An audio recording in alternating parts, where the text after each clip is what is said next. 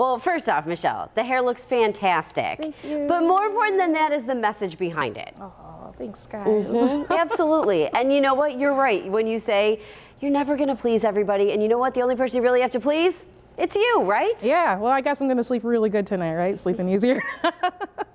well, guys, I mean, it's another spring day. This is the third day of spring, and the big story here is the temperature. So I'm gonna lead you right off with the almanac.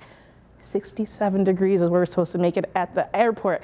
Yes, 2012, again, just like yesterday was another warm year at 80 degrees and overnight, yeah, it's going to be warm overnight as well. We're supposed to be in the upper 20s. We're looking at the upper 30s to low 40s.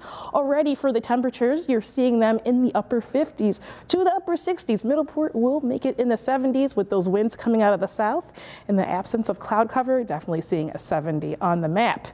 But if you've noticed it's been a bit dry, I want to turn your attention to the dew points, you're not wrong at all. When you see the dew point temperatures far away from the actual temperatures, it's quite dry. If you've noticed you needed some more chapstick, you needed to keep a little more hydrated, more static electricity. I know when I pet my cat, she hates it because I zap her. Well, it's because it's quite dry. I'll show you why in a few seconds with 7 Super Doppler. You are seeing the absence of clouds. That high pressure system is still sitting pretty right there, and it's making it possible for us to have lots of sunshine, but it is quite dry. So make sure to keep hydrated. We're not going to complain at all. Now we do have another system to the west that's going to make its way to us, and I'll show you when on Futurecast. So the dry time is coming to an end.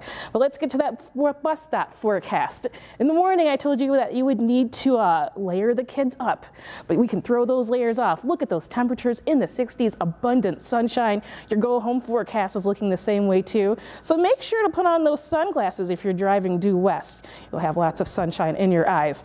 Looking at the Futurecast, we're going to stop the clock at 11. Those clouds are filtering in. We've got cloud cover filtering in before the rain. So Tuesday is going to be cloudy. However, it's not going to cool us down. You'll see those temperatures for Tuesday in the seven day. By noon, full cloud cover. Same thing for the evening and to the overnight too. As we go into Wednesday, that's when you're going to see that rain arrive. See how it just comes in from the south? Not only that, but you're seeing some more moderate rain showers in the yellow there with those winds still coming out of the south. So we can expect to see a bit of a wet Wednesday. But we got to get through today, which is going to be great, mostly sunny and pleasant.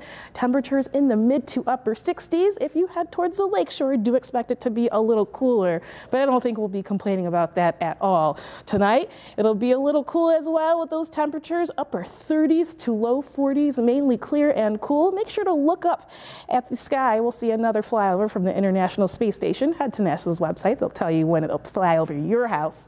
Remember, I told you we'd be warmer on Tuesday, warm rather on Tuesday. There it is in the mid 60s. Let's get to Wednesday. Almost 70 degrees, even though we're seeing rain. And then 70, there it is on Thursdays. Guys, it's still spring, not even summer yet. And we're looking at summer temperatures. Well, enjoy them while you can because Friday we're back in the 50s, 40s on Saturday, and 50 to end the seven day.